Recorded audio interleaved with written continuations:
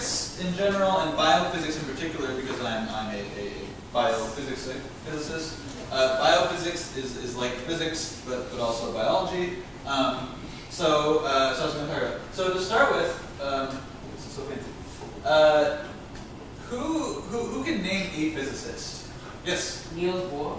Niels Bohr was a physicist. Yes. Maxwell. Maxwell was a physicist. Anyone else? Okay, you, you got it. Yes. Einstein. Einstein was a physicist. Okay, finally someone, finally someone said Einstein. I, I, I, I had to kind of guess what people said. Uh, any, any, any other physics people? Okay, yeah, sure. Rutherford. Rutherford, Rutherford Thompson. Wow. Okay, so uh, anyone, anyone in this this panel here has not said anyone? You guys, a single physics person, living or dead? Anyone? Okay, fine. You can, you can keep all. Okay. Dalton. Dalton was a physicist. Okay. Uh, Hawking. Stephen Hawking. Maxwell. Someone said Maxwell. Richard Feynman.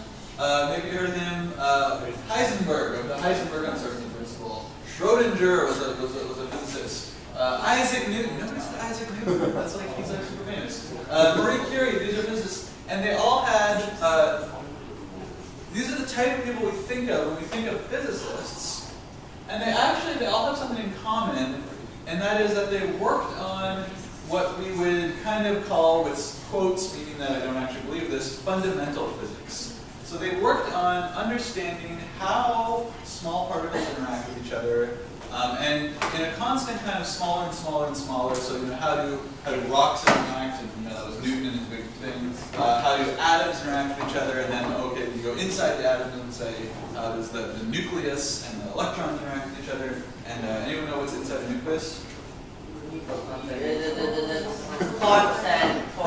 Protons and neutrons are inside nucleus. You're both right. Protons and neutrons are inside nucleus, and quarks are inside the protons and neutrons. And there's this kind of constant uh, figuring out these laws of, of Maxwell was electri uh, electricity and magnetism, figuring out how these laws work, um, and uh, uh, what the smallest particles are, and what things are built of. Okay, so that's kind of what we think of when we think of physics, but this is not what most physicists today work on. Okay? Uh, most physicists today, so if that's kind of people working in fundamental physics, most physicists today work in what we might call many-body physics, or uh, it's also sometimes called condensed matter. And the deal with many-body physics is that you're dealing with a whole bunch of particles that are interacting with each other, and you know what the particles are made of, and you know how they interact with each other. So all of the work of the people like Heisenberg and Feynman and Einstein, uh, that's all been done and you know it. But what you don't know is what new things come out because you have many, many particles interacting with each other. Okay? Um, so this would cover things like materials physics. Uh, it would cover things like solid state physics. There's a lot of overlap between these areas and other areas. So materials physics kind of, there's a lot of overlap with that in engineering. Someone brought up uh, carbon nanotubes or something in the, engineering talk. Um, solid state physics is, is, a lot of computers and whatnot, so there's overlap. Um, we, we get into what are called quantum materials, which there's a whole institute going on there. Uh, the quantum computing is, is a big area, and that's again particles interacting with each other. We know what the rules are for these interactions, we just don't know what new things we can get uh, when, when you have a bunch of things interact with each other. And of course, biophysics, which is my area. Um, now, just to kind of drive home this point that we that we have a bunch of small things that we know what the rules are. Who who, who knows uh, the most common elements in the human body? Yes. Uh, Just give me one. hydrogen. Hydrogen is one. Hydrogen is one. Carbon is another one. Oxygen. Oxygen is another one. Calcium. Phosphorus. Calcium is one. Phosphorus is one, and there's one more. Iron. Not not not not iron. Is one it more. There's nitrogen. Those six elements make up 99% of your body. Okay? So I'd like to say that if there was a periodic table of elements for biologists, it would look like this. right? You have hydrogen, calcium, carbon, nitrogen, oxygen, phosphorus. Uh, occasionally some of this, these things in here, also some stuff over here. Uh, if anything from down here is in your body, You're you're poisoned by Russian spies and you're not long for the world. Okay, so that, and, and, and, we know, we know basically everything about how hydrogen interacts with other, with, with, other atoms, right? We, we, we have, uh, if you take physics, you'll learn quantum mechanics, and you'll learn how electrons and hydrogen atoms interact, uh, and, and we basically know how carbon and nitrogen and oxygen behave. We know all this stuff, but when you combine these things in the right pattern, you get you know, a person, right? And we don't know how combining all these things uh, leads to what we call emergent behavior. Um, and if, if, if we know that better, then maybe we can we can uh, make better medicines and, and you know uh, do better at, at, at, at, fixing people. If we know how all the elements that go into us actually make cells and, and tissues and, and, um, and, and, so biophysics can be very applied. Um, at the same time, uh, these emergent properties we, that, uh, uh, that we call them, the uh, properties that arise um, from the interaction of many particles, they actually give us insight into the fundamental physics. So there's a whole bunch of people working at places like Perimeter Institute in, in, in, Waterloo that are looking at um, can we learn more about the fundamental properties by looking at what emerges out of, out of these many-body systems. Um, so to me, this is kind of what, what I love about this area of physics, is that you've got, on the one hand, you've got very abstract thinking and very kind of what's the universe made of. On the other hand, you've got very, like, how can I cure Alzheimer's? Applied thinking. And, and they kind of take the whole, uh, the, uh, uh, the whole spectrum. You can study all of it in physics. Now, I'm going to say that when I was an undergrad, so this is me, sort of, I, I looked approximately like that back then. Uh, when I was an undergrad picking my major, I did not know any of that, okay? The two things I knew about physics was that I had done well in first year and that they would give me a job in the summer. Um, and that was what I knew about doing physics research. And, uh, and that was what I was making my, my, my, my, my decisions on. And um, I'm going to step outside of physics specifically just to, to give you, I guess, a piece of life advice, which is that uh, you will always be making decisions based on not enough information. Okay, you're, you're gonna you're, you're in high school now. You're gonna look at what university to go to, and then you look at what major you want to go to. Um, you are not going to have enough information to actually decide uh, whether or not you like this, right? Like you, you don't know if you like physics until you actually get into physics, and by that point, you've already decided to be in physics. Um, so, uh, so make your peace now with the fact that that uh, you can. It's it's it's good to try and look. It's good to try and learn more. I mean, it's great that you're here, um, and you guys have like the internet. And when I was in high school trying to decide, the internet was like I had to like tell my brother not to pick up the phone, and then I had to dial the internet company, and then if that brother picked up the phone while I was on the internet, it, it disconnected the internet. Um, getting blank stares. This is true. Trust me. This is. Um, so it was it was very different. Uh, you, I think you've got a lot more resources. But even with those resources, you, are going to be making decisions and you're not going to have information. And back then, actually, it really worried me that I might like pick the wrong thing, right? Like I had all these interests and I, I, I liked physics, but I also liked uh, you know writing and, and history and um, what if what, what if I wound up in uh, not the right field, right? And, and realized it too late. That was my, my, my, my big fear.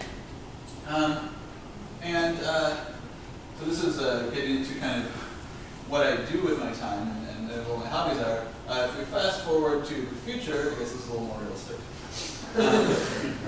Uh, yeah, 10 years really doesn't number on you. Um, uh, if we fast forward to the future, uh, if there's anything I've learned, it's that you don't you don't need to figure out how to um, how to do everything, right?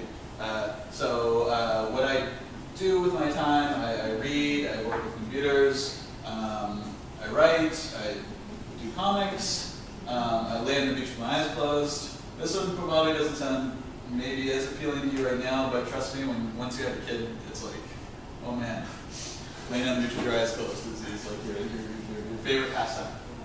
Um, and uh, it can seem very limiting when you, when, you, when you go into a field and you're like, oh man, I'm going to do physics, and now I have to put aside uh, the other things that I was interested in. Um, but if there's one thing I learned, it's that you actually don't have to put those things aside. Um, you, you, you can find ways to incorporate uh, different aspects. Um, And so, a couple years back, I actually started drawing uh, comics about science, um, and this uh, this led one thing led to another. Um, and uh, now, every so often, there's a production company in Vancouver that does TV commercials. So this is a, a commercial for General Electric, and this guy is going to walk. Uh, I turn this on. He's going to walk in this room. Um, and now. And uh, they actually uh, actually got hired as a job to go to a commercial set and uh, fill a giant room with diagrams and equations. And um, that- so this is actually so yeah. So that, that that whole thing that was actually somebody paid me to come to a TV set here in Vancouver um, and draw them. Uh, and then uh, okay, so uh, that was done with, with computer editing. I did not draw like all of that. I did like the one panel and then they they uh, Um, so there's I, I moved way off the topic of kind of physics here, but there's uh,